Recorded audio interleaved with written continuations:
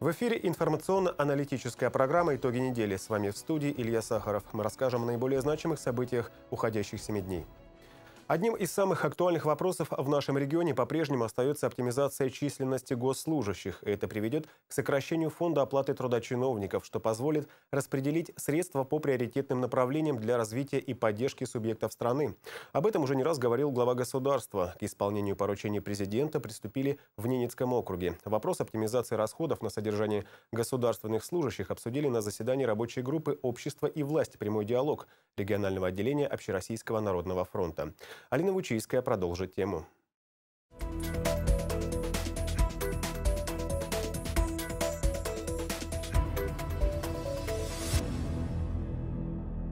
Сокращение штатной численности работников в нынешних экономических условиях коснулось едва ли не каждого предприятия в нашей стране. Большое внимание уделяется и сокращению армии чиновников, в Ненецком округе в том числе.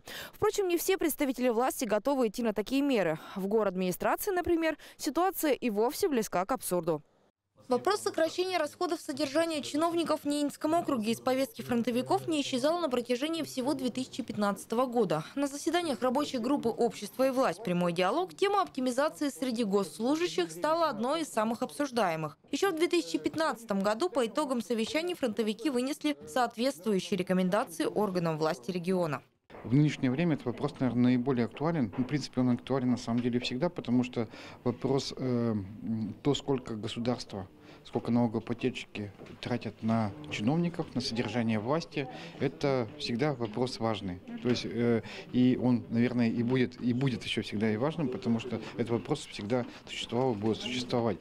Вот. А в нынешних реалиях, э, нынешней экономической ситуации, в которой находится Россия, э, он приобретает еще большую актуальность, и мы решили провести рабочую группу для того, чтобы все-таки разобраться и понять, как чиновники, э, насколько они оптимизировались, насколько они сокращают расходы на содержание. По мнению экспертов УНФ, к началу 2016 года требования эти были выполнены частично. Этот факт вызвал необходимость запросить у чиновников сведения о штатной численности сотрудников на начало прошлого и текущего года, о величине фонда оплаты труда, остатки денежных средств на зарплату муниципальных служащих на конец 2015 года. Из доклада исполняющего обязанности руководителя аппарата администрации региона стало понятно, что в 2015 году окружная администрация перешла на департаментную систему. Это привело к сокращению органов исполнительной власти от 23 к 14. Кроме того, в администрации региона сократилось количество госслужащих, относящихся к категории руководителей. Если до реформы департаментов у нас был каждый четвертый относился, 25% перечислялись к категории руководителей, то с переходом на департаментную систему 19%. Э, В настоящее время губернатором округа поставлена задача по оптимизации численности государственных служащих. Как это будет э, происходить, по каким направлениям? Во-первых, переводятся определенные э, должности государственных гражданских служащих в число не госслужащих. Об оптимизации также читались окружные парламентарии, Заполярный район и мэрия. Последняя, кстати, возглавила рейтинг самосохранения чиновников, который был составлен фронтовиками. Решение о передаче полномочий в сфере образования из мэрии в округ было принято еще в сентябре 2014 года, когда был принят 95-й окружной закон. Мэр города Татьяна Федорова тогда попросила отсрочку исполнения этого закона. Как она объяснила, для того, чтобы подготовиться и качественно провести передачу полномочий. Окружные власти пошли навстречу и дали время до 1 января 2016 2016 года. Впрочем, вовремя мероприятия по передаче полномочий и сокращению работников выполнены не были. Я считаю, что бездействие мэра города по осуществлению вовремя мероприятий, связанных с передачей полномочий, повлекут дополнительные расходы из городского бюджета на зарплату работникам, потому что вовремя их не предупредили об увольнении. Уволить сейчас их можно только по истечении двух месяцев. А, уведомления работники управления образования получили в конце декабря, поэтому сейчас им придется платить зарплату практически еще два месяца.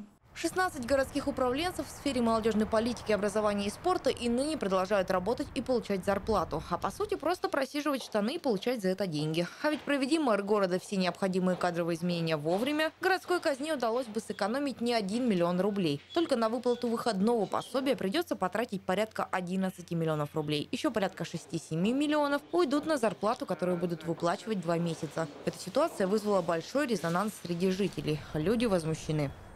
Стоит ли сократить э, средства на содержание аппарата городских чиновников? Однозначно, конечно, а да. почему? Потому что слишком много. Сокращают, режут рабочих лошадей, а оставляют, в общем, один с ложкой, а сзади Не по заслугам, потому что получают. Что такого они для округа делают, чтобы такие зарплаты получать?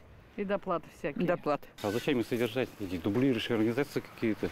Как вы считаете, стоит ли сократить э, средства на содержание э, чиновников из мэрии? Вообще выгнать всех надо. Стоит ли сократить средства на содержание э, чиновников из мэрии? Ну, конечно. А почему? А потому э, э, пенсию сравнить и их заработки. Все. До и свидания. вам зарплату добавить, и ходите по разной погоде. Если говорить о самом процессе реорганизации системы образования в Наринмаре, то он происходит в штатном режиме, заявила руководитель Департамента образования, культуры и спорта Галина Медведева. Между тем, волнующие педагогическое общество вопросы, связанные с передачей полномочий и организационные моменты, обсудили на встрече руководителей школ детских садов с Департаментом образования Ненецкого округа.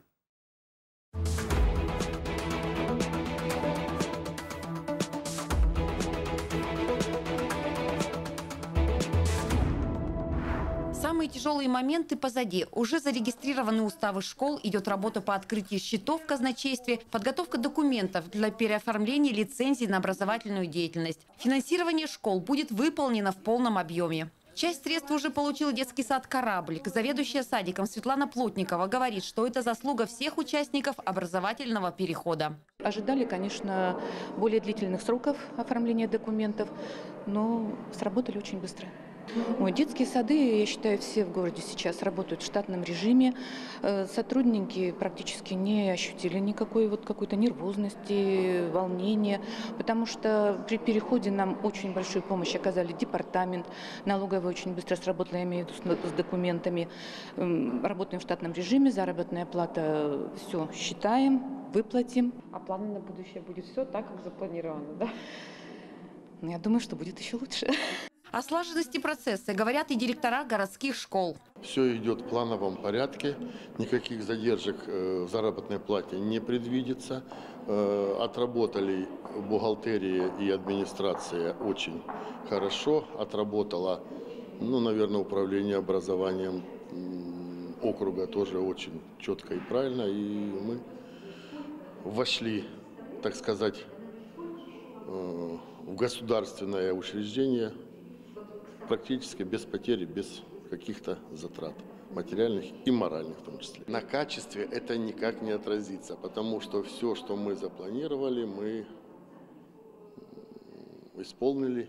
Учителя от- отреагировали на этот переход спокойно, с пониманием, Теперь, когда система образования находится в одних руках и представляет собой одну семью, городские школы и сады могут тесно взаимодействовать с поселковыми коллегами, делиться с ними интересными методическими разработками, сценариями, опытом в научно-техническом творчестве. Как проходит процесс передачи образовательных учреждений города в ведении округа, в интервью нашему телеканалу рассказала заместитель губернатора, руководитель Департамента образования, культуры и спорта Ненецкого округа Галина Медведева. С 1 января мы приняли э, городские образовательные учреждения всех типов. И э, идет в спокойном режиме все. За первую неделю э, мы все уставы отработали, то есть мы получили уже зарегистрированные в налоговой инспекции. Затем казначейство точно так же очень быстро сработало достаточно. На сегодняшний день открыты счета образовательных организациях. В части образовательных организаций уже началось финансирование, то есть мы перечисляем. Они завершают, получают ЭЦП, ну, для того, чтобы могли производить определенные финансовые операции. Кроме того, э, завершается и процесс сегодня вот, подписания соглашений а, выделении субсидий. И э, финансирование, оно и сегодня идет, и вот с 25-го оно пойдет в плановом режиме по э, всем учреждениям. До учреждений сегодня доведено, когда им будут идти э, поступления. И прежде всего, это, конечно же, первая часть заработной платы, которую они будут выплачивать. То есть задержек по заработной плате Ну? Задержек э, от нас нет. Я думаю, что и э, очень быстро сработают и сами школы по перечислению этих средств. Начисление проведено. Это первая часть заработной платы, да, поэтому достаточно быстро должно все пройти. Раз. Вот, а повлиял этот процесс э, передачи на вот, качество ну, вот, работы школы, так скажем, на процесс? Ну, это, наверное, только на качество работы директоров и главных бухгалтеров, да, А, потому что у них действительно объем вот увеличился, и нужно было все делать очень не просто быстро, а делать надо было очень качественно. Если некачественно сделаешь тебе, то в одном месте не примут, то в другом, да, поэтому здесь было очень четко сработано ими. А учебный процесс, он как начался, пошел в штатном режиме, сбоев в учебно, вот это образовательном процессе нет. Школа работает по своим э, нормативкам, да, школа работает по своему расписанию, по своим штатным, а, как они определяли. Мы провели на сегодняшний день консультации со всеми директорами школ пока, да. А, Дальше мы пойдем по детским садам. А, Цель наша основная познакомиться, что представляет из себя школа, какая у нее действует программа развития, на что нацелена школа, какие у нее есть перспективы, задачи, а, предположим, да, что они видят в будущем, это первое. Ну и второе, они э, показ- э, принесли и свои, кроме штатных расписаний, еще и положение об оплате труда а, для того, чтобы посмотреть, э, есть ли большая, небольшая разница, потому что мы все равно должны с сентября, да, мы говорим, переходить на единую систему оплаты труда.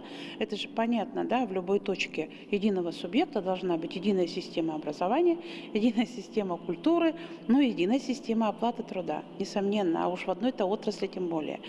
Поэтому вот сейчас, э, как только пройдет, в феврале мы начинаем смотреть эти положения сами, отрабатывать, ну и дальше будем отрабатывать со школами. Мы то, что мы едим. А кушаем мы в Наринмаре продукты, мягко сказать, которые зачастую далеки от совершенства. И речь здесь не о том, что они абсолютно все плохого качества, а о том, что местные продавцы зачастую пренебрегают соблюдением сроков хранения товаров и выставляют на прилавке просроченную продукцию. Причем это относится не только к овощам и фруктам, но и к молочке и заморозке, у которой, кстати, тоже есть свой срок годности. Наш корреспондент Любовь Пермякова отправилась в рейд по торговым точкам и попыталась понять, в чем прелесть продажи того, чего уже и продуктом-то назвать нельзя.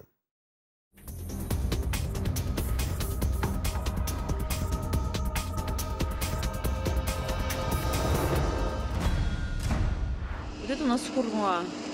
Э, Валя, поверни ее, как, ну вот так прям покрути, да.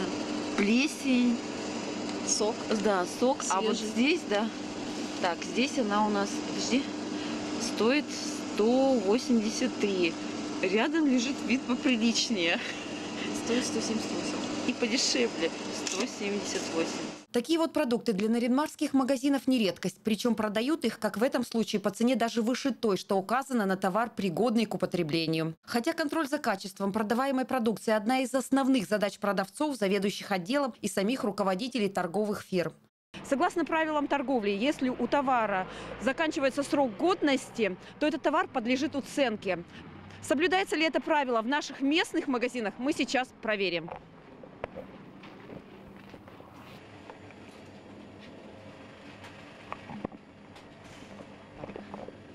Берем, да, цыплят. Бройлер, значит, упаковано 22.07.15.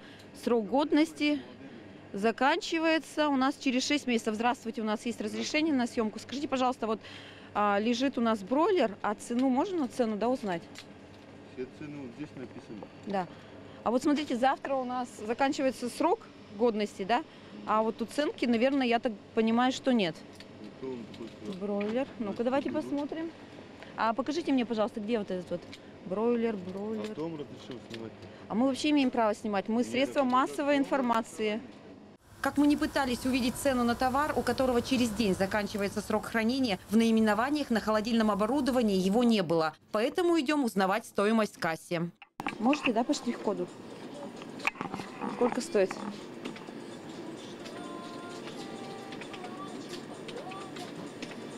За килограмм 200 рублей. Это нужно упаковку узнать? Или за килограмм? Да, да за а упаковка сколько стоит?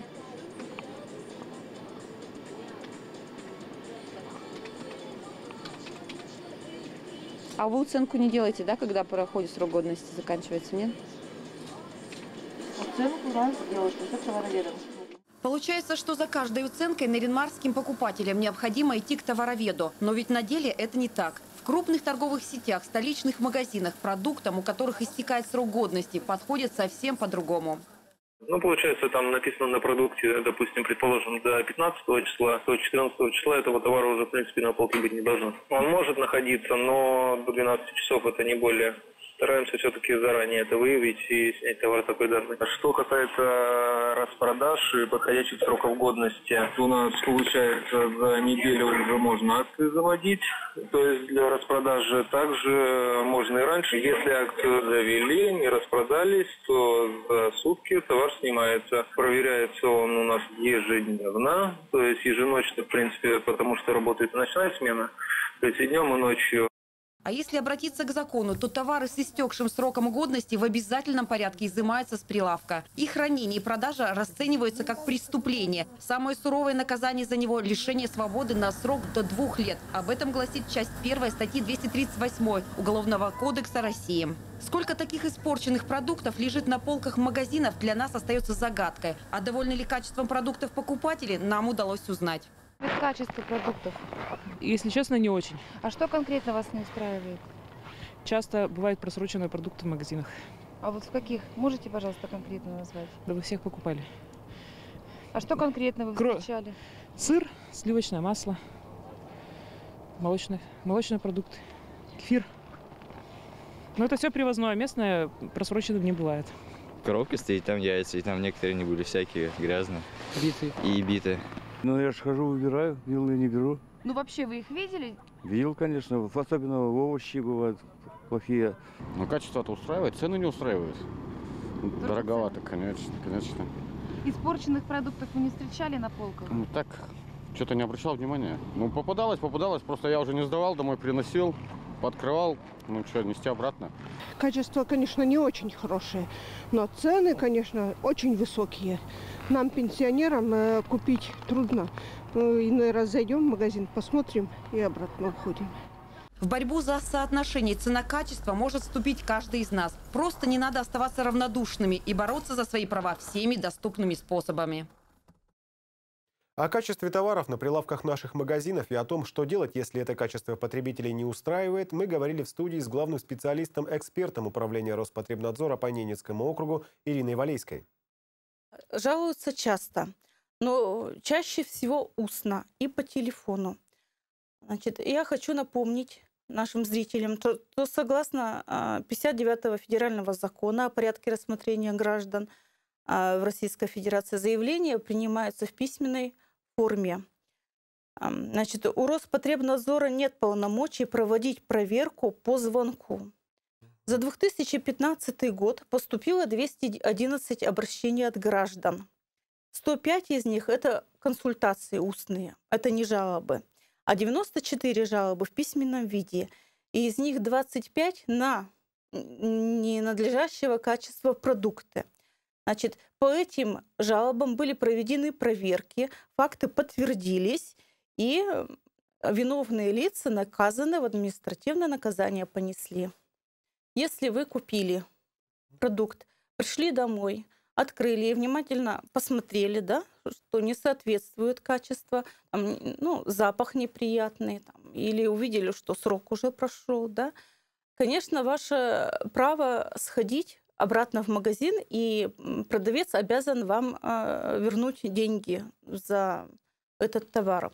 Но некоторые люди ленятся, тем самым поощряют а, продавцов недобросовестных, да, потому что денежки, которые мы уплатили за некачественный товар, остается в кармане у продавца.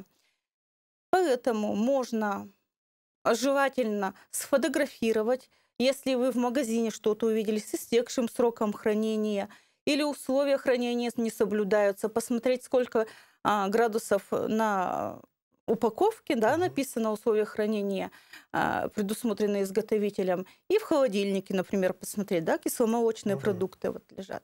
Значит, или вы купили товар, а он, когда вскрыли, поняли, что он испорчен, да, желательно сфотографировать, угу. вот, а, написать жалобу в письменном виде или, а, значит, прийти лично обращиться по адресу а, авиаторов 7, где находится управление Роспотребнадзора. В свободной форме можно это написать. Можно дома, да, или обратиться угу. за помощью к нам или отправить электронной почтой. Форма электронного обращения на сайте имеется. Хорошо. Фотографию, не только одну фотографию, но еще и саму жалобу, где обязательно указать, какого числа это происходило, фамилия, имя, отчество обратившегося, потому что анонимные заявления не рассматриваются, в каком э, магазине, кому он принадлежит, по какому адресу.